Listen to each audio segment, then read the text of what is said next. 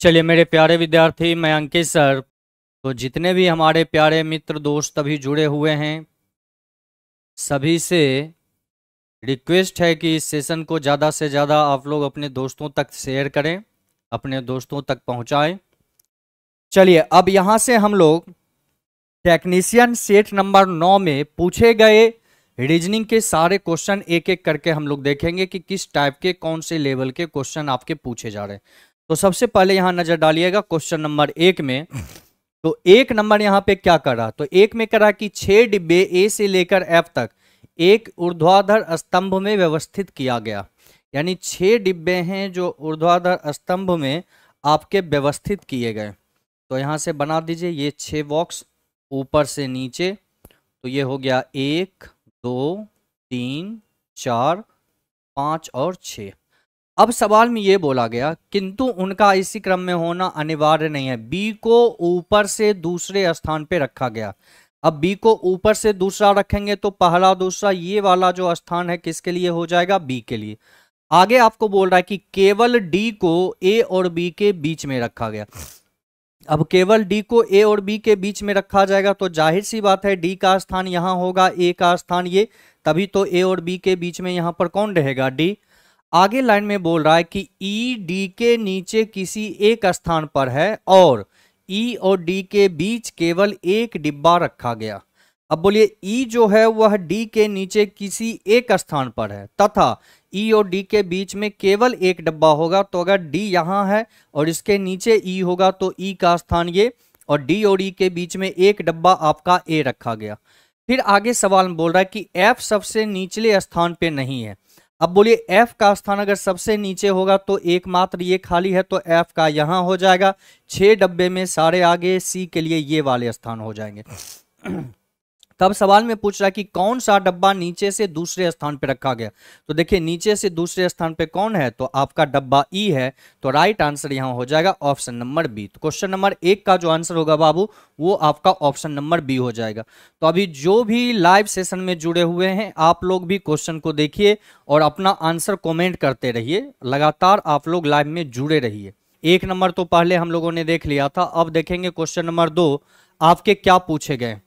तो दो में यदि आप यहाँ नज़र डालेंगे सही से तो स्पष्ट रूप से सवाल में क्या बोला गया? बोल रहा है कि जानवी और परिणीता एक पंक्ति में।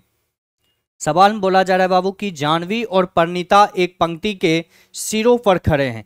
अगर दो पंक्ति है बाबू तो इसमें बोला गया कि दोनों पंक्ति के, एक पंक्ति के सिरे पर जानवी और परिणीता है। अगर पंक्ति के एक सिरे पे यहाँ जानवी का स्थान होगा तो पंक्ति के दूसरे सिरे पे यह स्थान आपका परिणीता का हो जाएगा। आगे सवाल में आपको बोला गया कि जानवी और रवि के बीच केवल 26 विद्यार्थी खड़े हैं। तो जानवी यहाँ है तो जानवी और रवि के बीच में विद्यार्थियों की संख्या आपके हो जाएँगे 26 आगे बोल रहा है कि रवि और परिणीता के बीच केवल 14 विद्यार्थी से तो इन दोनों के बीच की संख्या हो जाएँगे 14 अब सवाल बोल रहा है कि पंक्ति में कुल कितने विद्यार्थी खड़े हैं? तो यहाँ देखिए, कुल संख्या अगर देखना, देना है तो सभी को जोड़ दीजिए। एक, छब्बीस, सत्ताईस सत्ताईस, एक, अट्ठाईस अट्ठाईस और चौदह, बयालीस बयालीस और एक आपके हो जाते हैं तैतालीस। यानी इस पंक्ति में कुल विद्यार्थियों की संख्या तैतालीस हो जाएँगे तो राइट आंसर आपका हो जाएगा ऑप्शन नंबर ए चले आइए अगले सवाल की ओर। पंकज केसरी, ये कोचिंग बाबू पटना में आपका ये भिखना पहाड़ी, सैदपुर मोड़ भिखना पहाड़ी में है। इसके अलावा बजाज समिति मेन गेट पे भी इसका सेंटर है, प्लेटफॉर्म बाय नवीन कुमार सिंह। इसके अलावा किसान कोल्ड स्टोरेज मुसल्लापुर हाट में भी इसके ब्रांच हैं। तो आपको जो नज़दीक पड़े वहाँ पर जाकर आप अपने बैच से संबंधित कोई भी जानकारी ले सकते हैं। चलिए, टेस्ट का रिज़ल्ट बिल्कुल जाता है। अभी थोड़ा सा कुछ इशू आ गया था। जो स्कैनर है, वो मशीन में कुछ दिक्कतें आ गई थी, जिस वजह से बहुत सारे टेस्ट के रिज़ल्ट आपके नहीं जा पा रहे थे। वो दिक्कतें सुलझा ली गई है और आज से कल तक में आपके सारे रिज़ल्ट आपको उपलब्ध करा दिए जाएँगे। तो इसलिए ज़्यादा टेंशन लेने की ज़रूरत नहीं है। क्लियर चलिए, आगे बढ़ते हैं और अगले क्वेश्चन की ओर हम लोग जाते हैं। तो अगला क्वेश्चन आप देखिए, आपका कौन है? क्वेश्चन नंबर दो के बाद क्वेश्चन नंबर तीन पे आप लोग नज़र डालेंगे बोल रहा है कि छह मित्र, अरुण, सुरेश, राहुल, प्रियंका, दीलन और हिवा ने एक ऑनलाइन परीक्षा दी। उस परीक्षा में सभी को अलग अलग अंक प्राप्त हुए। आगे बोल रहा है, सुरेश, प्रियंका से अधिक किंतु अरुण से कम अंक प्राप्त किया। यानी सुरेश नाम का जो व्यक्ति है, इसके बारे में बोल रहा है कि सुरेश ने, ध्यान से देखिए, बोल रहा है, सुरेश ने प्रियंका से अधिक, सुरेश प्रियंका से अधिक, किंतु ये अरुण से कम अंक प्राप्त किया है। आगे बोल रहा है, हीवा को सबसे कम अंक प्राप्त हुए हैं, और आगे बोल रहा है कि दीलन ने राहुल से कम अंक प्राप्त किया। तो एक और फिगर बनाइए, दीलन ने राहुल से कम अंक प्राप्त किए, अरुण ने प्रियंका और राहुल दोनों से अधिक अंक प्राप्त किया। अगर अरुण प्रियंका और राहुल दोनों से अधिक अंक प्राप्त करेगा और सबसे कम अंक जो है वह किसके हैं तो सबसे कम है हीवा का। सबसे कम अंक जो है वो है आपका हीवा का। तो इसमें देखिए बाबू, कितने व्यक्ति, एक, दो, ये हो जाएँगे तीन, फिर आगे ये स्थान हो जाएगा चार, और फिर ये हो जाएँगे पाँच, एक, दो, तीन, चार, पाँच और एक व्यक्ति और हो जाएँगे छः तो ये सबसे कम वाले स्थान किसका हो जाएगा? तो बी का हो जाएगा। अब ध्यान दीजिएगा यहाँ थोड़ा सा ध्यान से। तो दो व्यक्ति को और रखना और दो व्यक्ति में यहाँ राहुल है और दिलन है। लेकिन राहुल प्रियंका से कम है या राहुल प्रियंका से ज़्यादा है? इस बारे में हमारे पास कोई जानकारी नहीं है। केवल ये जानकारी लेकिन इतना पता है कि ये अरुण जो है वो प्रियंका से तो ज़्यादा है, है। और ये अरुण जो है वो राहुल से भी ज़्यादा अंक प्राप्त किया है। देखिए, यहाँ स्पष्ट है कि अरुण ने प्रियंका और राहुल दोनों से अधिक अंक प्राप्त किए। तो इन छह मित्रों में सर्वाधिक अंक प्राप्त कौन करता है, ये पूछ रहा है। तो देखिए, प्रियंका और राहुल दोनों से अरुण ज़्यादा करता है और अरुण जो है यहाँ इससे भी ज़्यादा एस से क्या नाम दिया गया? सुरेश से भी ज़्यादा है और सबसे कम यहाँ पर हीवा का है। तो यहाँ जो हीवा का हो गया सबसे कम तो स्पष्ट है कि अरुण जो है इसमें सबसे ज़्यादा अंक प्राप्त करेंगे। तो राइट आंसर आपका हो जाएगा option number B question number तीन के बाद चले आइए अगले क्वेश्चन की ओर। क्वेश्चन नंबर चार हम लोग देखेंगे क्या पूछा गया। तो चार में बाबू सवाल पूछ रहा है कि ऊपर युक्त श्रृंखला में ऐसे कितने स्वर, यानी कि ऐसे कितने भौवेल हैं, जिनमें से ठीक, जिनमें से प्रत्येक के ठीक पहले एक व्यंजन और ठीक बाद भी एक व्यंजन, यानी दोनों तरफ़ कॉन्सोनेंट होना चाहिए। ऐसे भौवेल को ढूंढिए। तो पहला भौवेल आपका ये है, जिसके दोनों तरफ़ में कॉन्सोनेंट है। दूसरा भॉवेल ये है, लेकिन एक तरफ़ कॉन्सोनेंट है, लेकिन दूसरे तरफ़ भॉवेल है। इसलिए आप यू को गिनती नहीं करेंगे ई को नहीं करेंगे, आप आई को गिनती करेंगे। क्योंकि आई के लेफ़्ट में भी देखिए एच है और राइट में भी आर यानी ये दोनों लेटर आपके कॉन्सोनेंट है। उसी प्रकार आई, ए ए तो नहीं होगा, फिर वाई भी नहीं, लेकिन लेटर ई e हो जाएगा। ई e के, देखिए, पहले भी कॉन्सोनेंट बाद में भी कॉन्सोनेंट ई e के बाद अगर आप देखिए तो यहाँ देखिए, और कौन सा होगा आपका? तो यहाँ लेटर हो जाएगा आई, जिससे ठीक पहले भी कॉन्सोनेंट ठीक बाद भी कॉन्सोनेंट यानी चार ऐसे वॉवेल हैं, ए, आई, ई और आई। ये चार ऐसे लेटर हैं, जिसके पहले भी और जिसके ठीक बाद भी आपके क्या हैं? एक व्यंजन, एक कॉन्सोनेंट लेटर आपके मौजूद है। तो राइट आंसर आपका हो जाता है ऑप्शन नंबर डी आइए अगले क्वेश्चन की ओर तो चार के बाद देखेंगे क्वेश्चन नंबर पाँच में। तो यहाँ कोडिंग पूछ रहा है। कोडिंग में आपको पूछा गया कि डॉलर उसके बाद आपका हेस उसके बाद है आपका नाइन फिर दिया गया है फोर उसके बाद है एट दी रेट और फिर दिया गया है थ्री इसका कोड आपसे पूछा गया। अब इसके लिए देखिए पहला शर्त क्या? पहला शर्त कहता है यदि पहला घटक एक प्रतीक तो पहला घटक यहाँ पर बिल्कुल एक प्रतीक आपका डॉलर मौजूद है और अंतिम घटक एक संख्या, अंतिम घटक एक संख्या। तो इन दोनों के कूटों को परस्पर बदलना चाहिए। ये वाले शर्त आपके लागू हो जाएँगे। दूसरा शर्त कहता है यदि पहला घटक एक विषम संख्या, ये संख्या नहीं बल्कि एक सिंबल है तो ये लागू नहीं होगा। तीसरा कहता है कि यदि दूसरे, तीसरे घटक दोनों पूर्ण वर्ग दूसरे और तीसरे ये पूर्ण वर्ग नहीं, दूसरा सिंबल है तो ये वाले भी आपके लागू नहीं होंगे। इस नियम के, इस शर्त के अनुसार इन दोनों के कोड को जब हम बदलेंगे तो थ्री का कोड जो बाबू यहाँ पर आपका दिया गया है थ्री का कोड यहाँ देखिए क्या है तो थ्री का कोड दिया गया आपको एल तो हम देखेंगे कि यहाँ एल थ्री का कोड है एल तो एल हो जाएगा डॉलर का कोड, चूँकि इन दोनों का आपस में चेंज होगा। और डॉलर के जो कोड आपको दिए गए एन वो हो जाएगा आपके थ्री के स्थान पे। अब आगे जो जैसा नंबर सिंबल है उसका सेम वैसे लिख दीजिए। तो हेज का कोड यहाँ देख रहे हैं एच है तो यहाँ एच हो जाएगा। नाइन का कोड जे है तो यहाँ जे हो गया। फोर का कोड आपका टी दिया गया, यहाँ टी हो जाएगा और एट दी रेट का कोड आपका डी हो जाएगा। तो राइट आंसर होगा L H J T D N L H J T D N right answer आपका होगा option number D L H J T D N आइए क्वेश्चन नंबर, आगे क्वेश्चन नंबर पाँच के बाद हम लोग देखेंगे क्वेश्चन नंबर छह में हमसे क्या पूछा गया। तो यहाँ पर वेन डायग्राम से सवाल में सवाल में पूछ रहे बाबू कि कितनी महिलाएँ कलाकार मॉडल भी हैं? कितनी महिला कलाकार मॉडल भी है? तो देखिए, ये जो सर्कल है, ये दर्शा रहा है महिला को, जबकि ये सर्कल दर्शा रहा है कलाकार को, और ये सर्कल दर्शा रहा है मॉडल को। यानी सत्रह संख्या आपके ऐसे हैं, ऐसे महिलाओं की सत्रह संख्या है, जो कि कलाकार हैं, और वह क्या है? मॉडल हैं। तो राइट आंसर दीजिएगा ऑप्शन नंबर बी छह के बाद चले आइए क्वेश्चन नंबर सात पे।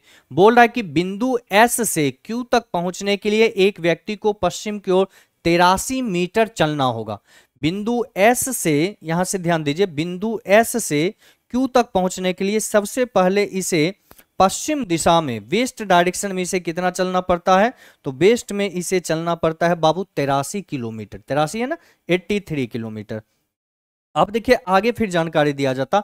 फिर उसे दाएँ मुड़ना होगा और 240 मीटर चलना होगा।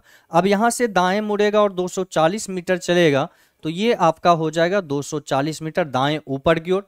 फिर आगे बोल रहा है कि उसे पुनः दाएँ मुड़ना है और एक मीटर चलना है। अब पुनः दाएँ मुड़ना और एक चलेगा तो तेरासी ये हो गया, फिर ये आगे चलेगा तो ये हो जाएगा आपका टोटल एक सौ तिरासी, एक सौ तिरासी, एक सौ सैतालीस मीटर, ये हो गया एक सौ सैतालीस मीटर। फिर बोल रहा, उसे एक बार पुनः दाएँ मुड़ना होगा और गंतव्य तक पहुँचने के लिए 240 मीटर चलना होगा। अब यहाँ से अगर दाएँ मुड़कर 240 पहुँच चलेगा तो वो इस पॉइंट पे पहुँच जाएगा। और ये जो है आपका कौन सा पॉइंट है? तो ये पॉइंट दिया गया है पॉइंट क्यू यानी ये है आपका पॉइंट एस और ये है आपका पॉइंट क्यू तब सवाल में पूछा गया कि बिंदु क्यू, बिंदु एस से कितनी दूर और किस दिशा में? यानी कि एस से क्यू का दिशा और दूरी आपको बतलाना है। तो यहाँ देखिए, आपका एस है, यहाँ से क्यू का दिशा और दूरी हम बतलाएँगे। तो सबसे पहले आप ध्यान दीजिए, यहाँ से ये तेरह, ये तेरासी आपके आगे और ऊपर एक तो नीचे इस पॉइंट से यहाँ की दूरी भी एक उसमें से यदि हम तेरासी, एक में से अगर आप तेरासी को माइनस कर देंगे तो आपका आंसर हो जाएगा सात में से तीन जाएगा, चार, चौदह में से आठ गया तो छः चौंसठ। यानी यहाँ से एस से क्यू का दूरी आपका हो जाता है चौंसठ मीटर और ये डायरेक्शन जो है, ये आपका होता है ईस्ट डायरेक्शन। आंसर दीजिएगा चौंसठ मीटर पूरब। राइट आंसर हो जाएगा ऑप्शन नंबर बी, चौंसठ मीटर पूरब। क्वेश्चन नंबर क्वेश्चन नंबर सात का जो आंसर है, वो आपका होगा ऑप्शन नंबर बी। आइए अगले क्वेश्चन की ओर चलते हैं। सात के बाद क्वेश्चन नंबर आठ। यहाँ पर बाबू इनक्वलिटी से क्वेश्चन है। सबसे पहले हम इस स्टेटमेंट को सीधा करें। तो आपका होगा बाबू के बराबर पी के और पी दोनों क्या हैं? बराबर हैं। फिर बोल रहा है पी लेस देन सी और आगे देखिए पी ग्रेटर देन क्यू तो आगे हो जाएगा पी ग्रेटर देन आपका क्यू अब फिर बोला जा रहा है Q greater than L Q greater than आपका हो जाता है एल क्लियर है? अब आइए यहाँ स्टेट कंक्लूजन पर। पहला कर क्यू लेस देन सी अब क्यू और सी के बीच में जब आप आते हैं तो देखिए क्यू के तरफ़ सी लेस है सी के तरफ़ ग्रेटर है, यहाँ भी क्यू के तरफ़ लेस सी के तरफ़ ग्रेटर पहला नंबर कंक्लूजन क्या हो गया सही? दूसरे नंबर कंक्लूजन आपके क्या कहते हैं? तो कह रहा है के ग्रेटर देन एल तो के से एल आएँगे सेम डायरेक्शन सिंबल है। के की तरफ़ ग्रेटर है एल की तरफ़ लेस है। तो दूसरे नंबर कंक्लूजन भी आपके सही हो गए। तो यहाँ राइट आंसर होगा ऑप्शन नंबर सी निष्कर्ष एक और दो, दोनों आपके क्या है, शर्त सत्य क्वेश्चन नंबर आठ के बाद आ जाइए क्वेश्चन नंबर उनसठ। जिसमें आपसे पूछा जा रहा है कि 29 जून 2010 को सप्ताह का कौन सा दिन होगा? तो आप इसे आराम से बना सकते हैं। कैसे बनाएँगे? तो सबसे पहले हम लिखेंगे तारीख 29 माह जून का कोड आपका हो जाता है चार। 2000 का कोड होगा बाबू छ। उसके बाद वर्ष आपके हो जाएँगे दस। अब इन दस वर्षों में लीप ईयर की संख्या होता है दो। अब इन सभी को सात से आप भाग देते हुए जोड़ दीजिए। उनतीस को सात से भाग देंगे, शेष एक बचेगा। दस में सात से भाग देंगे शेष आपका तीन बचेगा। एक और छह सात समाप्त हो गया, चार और तीन सात समाप्त हो गए तो शेष आपका बच रहा है केवल दो, और ये दो जो है मंगलवार का हो जाता है, यानी 29 जून 2010 का जो दिन था, वो आपका मंगलवार था राइट आंसर होगा ऑप्शन नंबर बी अगले क्वेश्चन की ओर हम लोग आते हैं तो क्वेश्चन नंबर उनसठ के बाद देखिएगा नेक्स्ट क्वेश्चन आपका कौन सा है।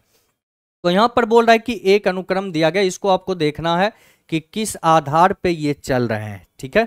चलिए आइए ध्यान दीजिए। तो यहाँ पर दिया हुआ है बाबू ए फिर है आपका डबल सी उसके बाद है यू जेड डी फिर आगे दिया गया ओ डब्ल्यू ई आगे का आपका दिया हुआ है आई टी एफ़ और उसके बाद आपसे पूछे जा रहे हैं।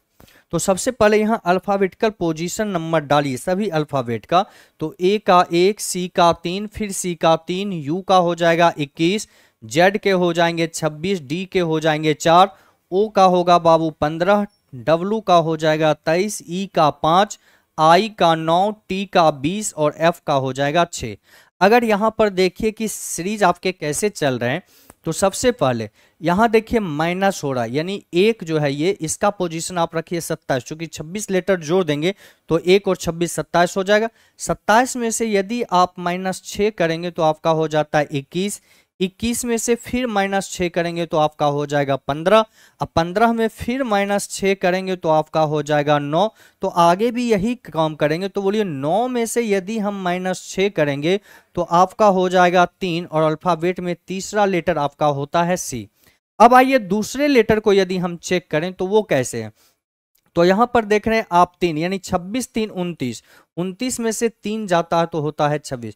यहाँ पर सीधा सा नियम ये चल रहा है कि 29 में से माइनस तीन हो गया 26 26 में से माइनस तीन हो गया तो आपका हो गया 23 तेईस में से माइनस तीन हो गया तो हो गया सत्रह, और सत्रह में से माइनस तीन आपका ये बीस में से माइनस तीन हो जाएगा तो होगा सत्रह, और सत्रहवा लेटर आपका होता है क्यू।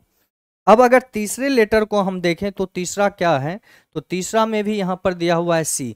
तो सी का आगे का लेटर डी है, यानी एक आगे फिर डी से एक लेटर आगे यहाँ पर आपका ई दिया गया। ई से एक लेटर आगे यहाँ पर आपके एफ़ दिए गए। तो एक लेटर आगे जाएँगे तो छः, एक, सात और सातवां लेटर जो है वो आपका हो जाता है जी। छः, एक आपका हो जाता है सात और सातवां लेटर अल्फ़ाबेट में होता है जी। तो राइट आंसर होगा C, Q, G. Option number C आपका बिल्कुल सही आंसर होगा। क्वेश्चन नंबर साठ का आंसर हो जाएगा ऑप्शन नंबर सी। चलिए आगे बढ़ते हैं हम लोग अगले क्वेश्चन को देखते हैं। क्वेश्चन नंबर साठ के बाद क्वेश्चन नंबर इकसठ पे आप लोग देखेंगे। तो यहाँ बोल रहा है प्लस तथा पल, प्लस तथा माइनस और दो तथा चार को बदलने पर कौन सा समीकरण आपके संतुलित तो हो जाएँगे? अगर दो और चार को हम बदलते हैं अब प्लस और माइनस को बदलते हैं दो और चार। तो आप ऑप्शन नंबर बी को चेक करिए। तो बी को अगर हम चेक करते हैं दो और चार को बदलेंगे तो यहाँ पर हो जाएगा बाबू सात गुने आपके हो जाएँगे कितना? दो। फिर माइनस को प्लस करिए और दो के जगह पर आप दीजिए चार। भागा आपका हो जाएगा एक, माइनस आपका हो गया पाँच। अब इसको आगे करने का काम करें तो दो, सात गुने दो आपका हो जाएगा चौदह। प्लस यहाँ पर हो जाएँगे आपके चार। माइनस हो गया आपका पाँच। चौदह चार हो जाएगा अट्ठारह, माइनस पाँच बराबर आपके हो जाते हैं तेरह। और यहाँ भी समीकरण तो वही है तेरह। तो राइट आंसर दीजिएगा option number B question number इकसठ का जो आंसर है, वो आपका हो जाता है ऑप्शन नंबर बी इकसठ के बाद चले आइए क्वेश्चन नंबर बासठ पे। तो बासठ में स्टेटमेंट क्या कहता है? स्टेटमेंट कहता है कुछ एल आर है। तो यहाँ स्टेटमेंट कहता है कि कुछ एल जो है, वह आपका आर है। अगला स्टेटमेंट कहता है कुछ ए आर है। कुछ ए जो है, आपका आर है। हमेशा ध्यान रखिएगा कि जब एक सर्कल दूसरे सर्कल को इस रूप में काट रही हो तो हमेशा ध्यान रखिए कि यहाँ जो कंक्लूजन आपका निकाला जाता, वो केवल और केवल सम में निकाले जाते हैं। अर्थात इन दोनों फिगर के बीच जो निष्कर्ष होगा, वो केवल कुछ में होगा। अगर इन दोनों के बीच कंक्लूजन ऑल में बोलेंगे तो ये ऑल का बोलना आपका क्या होगा गलत? उसी प्रकार यहाँ भी आर और ए के बीच जो भी कंक्लूजन होगा, वो केवल सम में होगा ऑल में गलत हो जाएँगे। तीसरा चीज़ ये या, दूसरा पॉइंट ये याद रखिए कि जो फिगर एक दूसरे को टच नहीं कर रहा हो उसके बीच में कोई भी डिफिनिट कंक्लूजन हम लोग नहीं देंगे। वहाँ एक भी डिफिनिट नहीं। पॉसिबिलिटी कंक्लूजन आपके हो सकते हैं, लेकिन एक भी डिफिनिट नहीं होगा। तीसरा पॉइंट ये याद रखिए कि जब दिए गए सारे स्टेटमेंट आपका पॉजिटिव हो तो उस जगह पे कभी भी निगेटिव कंक्लूजन नहीं निकाले जाते। पहला निष्कर्ष कहता है। तीसरा चीज़ ये भी याद रख लीजिए, जिससे आपको बनाना आसान हो जाएगा कि जब दिए गए स्टेटमेंट में स्टेटमेंट आपका सम का हो, कुछ का हो तो उस जगह पर कभी भी सभी का कंक्लूजन नहीं निकाले जाते। तो पहला भी गलत, दूसरा भी गलत। आंसर सीधा दीजिएगा। ऑप्शन नंबर डी कोई भी निष्कर्ष अनुसरण नहीं करता है। क्लियर आ जाइए अगले पॉइंट पर। क्वेश्चन नंबर बासठ के बाद क्वेश्चन नंबर तिरसठ देखिएगा। तो यहाँ पर सिंपल सा काम ये किया गया। 111 सौ गुने दो आपका हो जाता है 222 222 गुने दो आपका हो गया 444 तो 444 गुने दो अगर हम करते हैं तो आपका हो जाता है 888 राइट आंसर दीजिएगा आप ऑप्शन नंबर डी तिरसठ के बाद आइए क्वेश्चन नंबर चौसठ। तो चौसठ में यहाँ पर ई भाग एफ़, भाग का मतलब है आर एस की पत्नी है। अर्थात ई जो है वह एफ़ की पत्नी है तो इस यहाँ पे फिगर बनाएँगे। ई जो है बाबू, वह किसकी पत्नी है? एफ़ की पत्नी है। अगर ई पत्नी है तो ज़ाहिर सी बात है, एफ़ उसका पति है। पति पत्नी के बीच के रिश्ते को हम इस प्लस के सिंबल से दर्शाएँगे। अगला क्या कहता है कि एफ़ गुणे जे, गुना का मतलब दिया गया आर एस का भाई है। अर्थात एफ़ जो है वह जे का भाई होगा। एफ़ अगर जे का भाई हो गया तो ये दोनों के बीच में ये हॉरिजॉन्टल लाइन अब जे यहाँ भाई है या बहन है, इस बारे में कोई जानकारी हमारे पास नहीं है। आगे बोल रहा है, जे प्लस एल। प्लस का मतलब दिया गया आर एस की पुत्री है। अर्थात जे जो है वह एल की पुत्री है। अब इस जे को हम एल की पुत्री बनाएँगे तो एल चला जाएगा ऊपर वाले पीढ़ी में। जे नीचे, चूँकि जे पुत्री है तो पुत्री को नीचे वाले पीढ़ी में ये महिला हो गई। अब आगे बोल रहा है, एल बराबर एम। बराबर का मतलब है, आर एस की पिता बोल रहा है, अर्थात एल जो है, एम का पिता। अगर एल बाबू एम का पिता होगा ज़ाहिर सी बात है, एम जो है, जे का या तो भाई होगा या फिर बहन। अब ये महिला है या पुरुष है, इस बारे में कोई जानकारी नहीं है। सवाल में ये पूछ रहा है कि एल ई से किस प्रकार संबंधित है? यानी आपको एल का रिश्ता ई से बतलाना है, ये रिश्ते बतलाना है। तो देखिए ई जो है एक महिला महिला का ये पति पति के ये पिता, पति के पिता को रिश्ते में ससुर कहा जाता है तो राइट आंसर जो है वो आपका ऑप्शन नंबर ए हो जाएगा। चौसठ के बाद आइए अगले सवाल की ओर। क्वेश्चन नंबर पैंसठ पे आप लोग नज़र डालेंगे। पैंसठ में क्या बोला जा रहा है? तो यहाँ पे आपको कोडिंग डिकोडिंग से क्वेश्चन दिए गए। एकदम आसान क्वेश्चन है और इसे समझने की ज़रूरत है। आपको बोला गया कि E A R L Y इसको कोड किया गया है Z N S C F अगर सभी लेटर का अल्फाबेटिकल पोजीशन डालेंगे तो ई e का पाँच ए का एक आर का अट्ठारह एल का बारह और वाई का पच्चीस। यहाँ हो जाएगा जेड का बाबू 26 एन का 14 एस का 19 सी का हो जाएगा तीन, एफ़ के हो जाते हैं छः देखिए किस प्रकार के चेंजिंग हुए हैं? तो यहाँ पर 25 और एक, लास्ट लेटर से 25 और एक आपका हो जाता है 26 12 और दो आपके हो जाते हैं 14 उसी प्रकार 18 और एक आपका हो जाता है 19 फिर एक जोड़ा गया। एक और दो आपके हो जाते हैं फिर तीन, फिर दो जोड़े गए। अब पाँच और एक हो जाते हैं छह। अर्थात यहाँ पर यह हुआ कि लास्ट लेटर से पहले एक जोड़ना है, उसके बाद दो, फिर एक, फिर दो, फिर एक, फिर दो। यही क्रम आपके जारी रहेंगे। तो जब आपसे पूछा गया कि उसी भाषा में इनबॉक्स को क्या लिखेंगे तो इनबॉक्स में क्या करेंगे? लास्ट लेटर से पहले एक, फिर दो। तो एक्स का अगला एक लेटर हो जाएगा आपका वाई एक्स का अगला लेटर वाई बी ओ में अगला दूसरा लेटर जो होगा, वो होगा आपका क्यू फिर बी का आगे का लेटर होगा सी, एन का दो आगे जाएँगे तो लेटर हो जाएगा पी, आई का एक आगे लेटर हो जाएगा जे तो राइट आंसर होगा Y Q C P J option number D आपका बिल्कुल सही आंसर होंगे। तो पैंसठ के बाद चले आइए अगले क्वेश्चन क्वेश्चन नंबर छियासठ में यहाँ क्या बोला जा रहा है?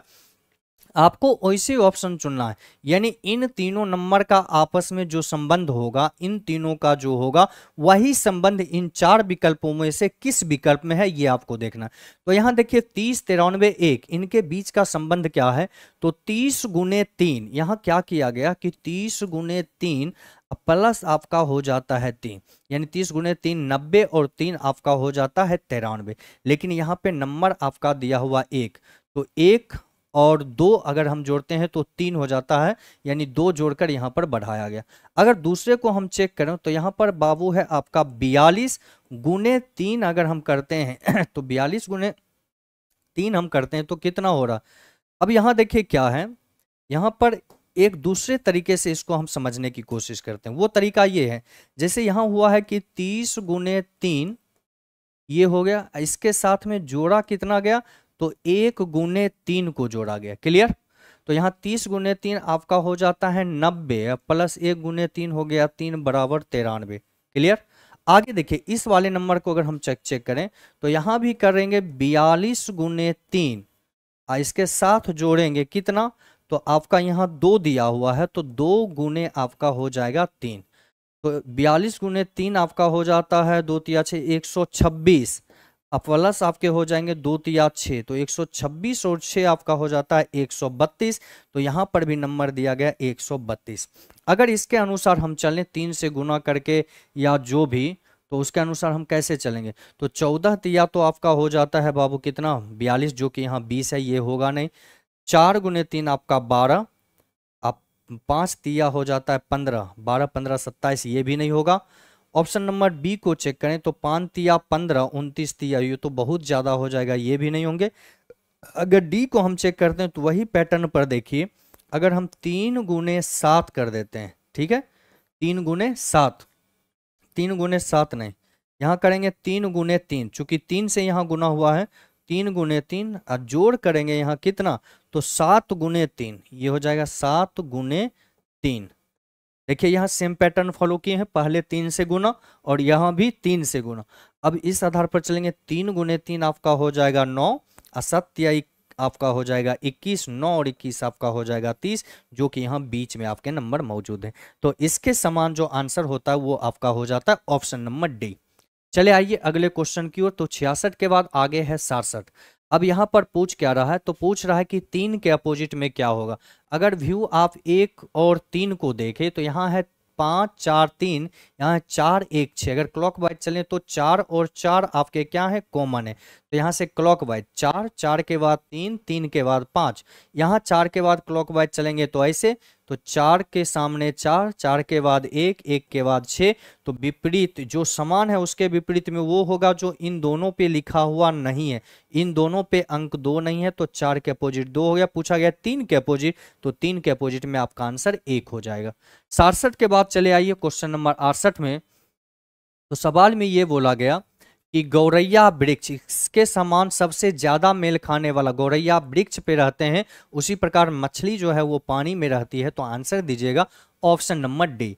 अड़सठ के बाद अगला क्वेश्चन हम देखते हैं, उनहत्तर नंबर। तो यहाँ पर पूछ रहा है, तीसरे स्थान पे कौन आएगा? तो इन सभी में अगर देखा जाए बाबू तो चार लेटर तो सभी में समान है। एस आई सी के एस आई सी के एस आई सी के एस आई सी के एस आई सी के, यहाँ भी एस आई सी के। तो सबसे पहले नंबर पर जो होगा, वो यही वर्ड आपका होगा क्योंकि इसके बाद इसमें लेटर मौजूद नहीं है। अब दूसरे नंबर को अगर हम चेक करें तो क्या आपका आंसर होगा? चलिए ध्यान से देखिए। के के बाद अगर देखें बाबू तो यहाँ एल है, यहाँ ई है, यहाँ ई है, और यहाँ आपका एल यहाँ आपका एन तो एन से पहले तो ये एल वाले होंगे, और एल वाले से पहले ये ई वाले होंगे। अच्छा ये तो ये तो है ही नहीं, इसको चेक करने की ज़रूरत ही नहीं, ये तो ऑप्शन है। अब देखिए, सबसे पहले यहाँ पर बाबू है आपका एन यहाँ है आपका एल ये भी एल और ये सबसे अंत में जाएगा पाँचवें नंबर पर, ठीक है? ये चला जाएगा वर्ड पाँचवें नंबर पर। अब एल वाले को देखें तो एल से पहले ई ये हो जाएगा आपका दूसरा नंबर। अब एल वाले में देखेंगे तो एल के बाद यहाँ वाई है, यहाँ आपका ई है, ये हो जाएगा तीसरे नंबर। और ये हो जाएगा आपका चौथे नंबर। आपसे तीसरा पूछा गया तो आंसर दीजिएगा। इसके लिए आपका हो जाएगा, यानी ऑप्शन नंबर डी आपका बिल्कुल सही आंसर है। उनहत्तर के बाद चले आइए अगले सवाल की ओर। क्वेश्चन नंबर सत्तर देखिएगा, सत्तर नहीं, अस्सी। अस्सी बोल रहा है कि सभी से विनम्रता से बात कीजिए भले ही आपकी सामाजिक स्थिति उच्च हो। कहने का मतलब है कि समाज में आप स्थिति उच्च हो मतलब आप अमीर हो, फिर भी समाज में आपको क्या करना है? एक विनम्रता से बात करनी चाहिए। अब देखिए, इस पर धारणाएँ क्या कहता है? तो धारणा कहता है कि आमतौर पर लोग उच्च सामाजिक स्थिति हासिल करने के बाद विनम्रता से बात नहीं करते हैं। ये बिल्कुल सही है, नहीं करते हैं, तभी तो स्टेटमेंट में ये चीज़ें कही गई कि आप भले ही सामाजिक स्थिति उच्च हो, फिर भी सभी से विनम्रता से बात करें। तो पहले नंबर धारणा आपका क्या है, सही? दूसरा कहता है कि कभी भी किसी की भी सामाजिक स्थिति को नकारा जा सकता है। बिल्कुल नहीं नकारा जा सकता है। कैसे नकार देंगे? तो ये आपका पूर्व धारणा क्या है? गलत हो जाएगा। तो यहाँ आंसर दीजिएगा, केवल पूर्व धारणा एक अनुसरण करता है। ऑप्शन नंबर डी आपका बिल्कुल सही होगा। अस्सी के बाद आइए क्वेश्चन नंबर इक्यासी में। तो यहाँ पर फिर सैलोगिज्म क्वेश्चन है। तो स्टेटमेंट में बोल रहा है कि कुछ गायक नर्तक नहीं है। और फिर बोल रहा है, कुछ गायक कुछ गायक नर्तक नहीं है। फिर बोला गया, कुछ नर्तक आपके कलाकार हैं और कोई भी कलाकार जादूगर नहीं है। तो यहाँ फिगर बनाइए, ये हो जाएगा आपका गायक। और बोला गया, कुछ गायक जो है वो नर्तक नहीं, यानी गायक का मान लेते हैं, ये वाला जो पार्ट है, वो आपका नर्तक नहीं है। तो ये हो जाएँगे आपके नर्तक नर्तक नहीं है। फिर अगला स्टेटमेंट कहता है कि कुछ नर्तक कलाकार हैं। यानी ये कुछ नर्तक जो हैं, आपके क्या हैं? कलाकार हैं। और फिर आगे कहता है, कोई कलाकार जादूगर नहीं है। यानी जितने भी कलाकार हैं, उनमें से कोई भी जादूगर नहीं है। अब यहाँ पर इन चीज़ों को समझिए कि कलाकार और जादूगर के बीच जो कंक्लूजन होगा, वो केवल और केवल निगेटिव कंक्लूजन होगा। अर्थात ये कंक्लूजन आपके नो और समनोट दोनों में होंगे। नो और सम नोट दोनों में क्लियर? और इस कट के निशान पर कंक्लूजन सम का बोलना आपका क्या हो जाएगा? सही हो जाएगा। और जो फिगर एक दूसरे को टच नहीं करता, उसके बीच में कोई भी डिफिनिट कंक्लूजन हम लोग नहीं देंगे। तो पहला कंक्लूजन कहता है कि कुछ गायक कलाकार हैं। अब देखिए, गायक और कलाकार, इन दोनों का आपस में कोई संबंध नहीं है। अब इनका इनसे रिलेशन होगा, नहीं होगा पॉजिटिव होगा निगेटिव होगा, कोई डिफिनिट नहीं। तो पहला नंबर कंक्लूजन आपके हो जाते हैं गलत। दूसरा कथा, कुछ नर्तक जादूगर नहीं है। अब देखिए, जब कुछ नर्तक कलाकार हैं और कोई कलाकार जादूगर नहीं है मतलब नर्तक का ये वाले पार्ट भी डिफिनिट है कि वह जादूगर नहीं होगा। तो दूसरे नंबर कंक्लूजन आपके सही हो जाएँगे। तीसरा कथा, कुछ गायक जादूगर है। अब देखिए, गायक यहाँ है, जादूगर यहाँ। इन दोनों का आपस में कोई संबंध नहीं। क्योंकि जब गायक और कलाकार का ही संबंध नहीं है तो फिर गायक और जादूगर का भी कोई नहीं तो इन दोनों के बीच में एक भी डिफिनिट कंक्लूजन नहीं निकाला जाएगा तो तीसरे नंबर आपके हो जाएँगे गलत। आंसर दीजिएगा, केवल निष्कर्ष दो अनुसरण करते हैं ऑप्शन नंबर सी आपका बिल्कुल सही आंसर होंगे। इक्यासी के बाद चले आइए क्वेश्चन नंबर बिरासी में। तो यहाँ पर बोल रहा है ए से एच तक नामक आठ व्यक्ति एक गोल मेज के केंद्र की ओर मुँह करके इस प्रकार बैठे तो सभी का चेहरा केंद्र की है ओर है तो दो दो चार चार दो छ छ दो आठ। आठ व्यक्ति हो गए। अब देखिए, आगे सवाल में क्या बोल रहा है? बोल रहा है कि जी ए के बाई और निकटतम स्थान पर। अब जी जो है, ए के बाई और निकटतम, ए के बाई और निकटतम स्थान पे यहाँ जी है। फिर आगे बोल रहा है, डी के दाई और तीसरे स्थान पर बैठा। और डी के दाई और और का मतलब हो गया ये जी नाम का ही जो व्यक्ति है, वह डी के दाई और तीसरे स्थान पर। अगर डी के दाई और तीसरा होगा, तब डी का स्थान यहाँ रखेंगे, डी के राइट इधर होंगे तो पहला, दूसरा, तीसरे स्थान पे यहाँ जी हो गया। आगे लाइन में कहता है कि ए और बी के बीच दो व्यक्ति बैठे अब अगर ए और बी के बीच में दो व्यक्ति बैठेंगे तो बी का या तो स्थान ये होगा या फिर ये होगा। इन दोनों में बी का कोई भी स्थान हो सकता है। बी के लिए जब भी होगा तो इन्हीं दोनों में से कोई एक होगा। अब देखिए, अगला लाइन में कहता है कि सी, बी का निकटतम पड़ोसी नहीं है। अर्थात सी और बी दोनों ये एक साथ नहीं बैठ सकते, ना तो लेफ़्ट में और ना ही राइट में। फिर आगे बोला कि ई और एफ़ एक दूसरे के बगल में बैठे। अर्थात ई जहाँ भी बैठेगा, उसके बगल लेफ़्ट या राइट में एफ़ का होना ज़रूरी है। फिर आगे बोल रहा है, एफ़, ए और डी का निकटतम पड़ोसी नहीं है। एफ़ जो है बाबू, वह ना तो ए के बगल में बैठेगा और ना ही वो डी के बगल में। तो ए के लिए या तो ये ये एफ़ के लिए या तो ये वाला स्थान होगा और ये वाला स्थान हो सकता है। अब देखिए एफ़ ए और डी का निकटतम पड़ोसी नहीं है। फिर बोला गया सी जी का निकटतम पड़ोसी। अगर सी जी का निकटतम होगा तो जी यहाँ पहले से है तो यहाँ निकट में तो ए पहले से है तो सी का स्थान आप यहाँ देंगे। अब देखिए बी और सी पड़ोसी नहीं, यानी बी का स्थान अब निश्चित हो गया, यहाँ नहीं होगा तो बी का स्थान निश्चित रूप से आपके यहाँ हो जाएँगे। एक लाइन और बोला गया था कि ई e और एफ़ एक दूसरे के बगल में बैठे हैं। दूसरी चीज़ एफ़ जो है वह ए और डी के बगल में नहीं बैठा। अगर एफ़ ए और डी के बगल में नहीं बैठेगा और पड़ोसी के लिए यही दो स्थान है तो ज़ाहिर सी बात है ई e का स्थान यहाँ हो जाएगा एफ़ का स्थान ये हो गया। सारे व्यक्ति बैठ गए, एक बच रहा एच एच का स्थान यहाँ हो जाएगा। तब सवाल में आगे आपसे पूछ रहा है कि एफ़ के बाई और दूसरे स्थान पर कौन बैठा है? तो बोलिए एफ़ के बाई और दूसरा तो एफ़ का बाई और इधर होगा तो एफ़ के बाई और पहला और दूसरा दूसरा व्यक्ति कौन है? ए आंसर दीजिएगा। ए ऑप्शन नंबर ए आपका सही आंसर होंगे। चलिए, बेरासी के बाद हम लोग देखते हैं क्वेश्चन नंबर तेरासी में। तो यहाँ आपके कोडिंग डिकोडिंग से सवाल पूछे गए। तो सवाल में आपसे पूछ रहा है कि टोमेटो इज़ टेस्टी का कोड क्या होगा? तो सबसे पहले यहाँ क्या करना है? कॉमन के आधार पे हम लोग आंसर देते हैं। तो देखिए, इसमें आपका टेस्टी है और फिर आपके कहाँ टेस्टी हैं, इसमें भी टेस्टी हैं। तो इन दोनों में देखिए, कॉमन आपका कौन सा कोड जा रहा है? तो इन दोनों में हम देख रहे हैं B I R B I R अर्थात टेस्टी का जो कोड होगा, वो बी आई आर होगा, जिसमें बी आई आर नहीं, उस ऑप्शन को पहले काट के हटा दीजिए। तो ए और डी आपके पहले हट चुके हैं। अब देखिए इसके बाद आपको किसका कोड चाहिए? तो आपको चाहिए इज़ का कोड। यहाँ दिया हुआ है ना, टोमेटो इज़ टेस्टी। तो इज़ का कोड कहाँ से होगा? तो इज़ यहाँ और इज़ आपके यहाँ है। इन दोनों में अगर हम कॉमन देखें तो P I C N A C H O R यहाँ देखिए H O R H O R common है, यानी इज़ का कोड होगा एच ओ आर जिस ऑप्शन में एच ओ आर नहीं हो, उसको नहीं लेना है। तो यहाँ B I R H O R मौजूद है, यहाँ भी B I R H O R मौजूद है। तो ये दोनों ऑप्शन अभी हमारा जा सकता अब हम कोड निकाल लेंगे किसका? टोमेटो का। तो टोमेटो का कोड आपका तभी निकलेगा, यहाँ इज़ का निकल गया ग्रीन का निकलेगा तो। तो देखिए ग्रीन के लिए क्या है? इन दोनों में एक कोई कॉमन होगा जो ग्रीन का होगा N A C N A सी ये क्या है? ग्रीन का कोड है। तो जिसमें एन ए सी है, उसको तो हटा देते हैं, नहीं हटाएँगे, अभी चूँकि है ही नहीं। अब एक काम और किया जाए, देखिए क्या करना है। तो यहाँ पर इज़ का कोड हो गया ग्रीन का हो गया तो जो शेष बचा वही किसका कोड होगा? टोमेटो का हो जाएगा। तो पी आई सी आपका एक शेष बच रहा है। तो जिस ऑप्शन में P I C P I सी यहाँ ऑप्शन सी में है राइट आंसर दीजिएगा ऑप्शन नंबर सी ये बी आपके क्या है? गलत। क्वेश्चन नंबर तेरासी का आंसर हो जाएगा ऑप्शन नंबर सी चले आइए आगे चौरासी में। तो यहाँ पर देखो बाबू, क्या है आंसर? तो सीधा आठ गुने दो सोलह सोलह और पाँच हो जाते हैं आपके इक्कीस।